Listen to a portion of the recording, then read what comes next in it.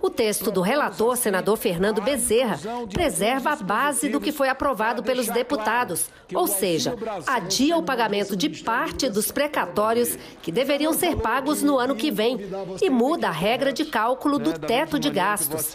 Para tentar reduzir as resistências à proposta no Senado, o relator fez alterações no texto. A principal delas é a previsão de tornar o Auxílio Brasil um programa permanente e não temporário como previsto viu o texto anterior. Propomos, assim, a inclusão de alguns dispositivos para deixar claro que o Auxílio Brasil terá um caráter permanente, não obstante não possamos desde logo definir suas fontes de financiamento a partir do exercício de 2023. Como houve pedido de vistas, a discussão e votação do texto ficou para a próxima terça-feira.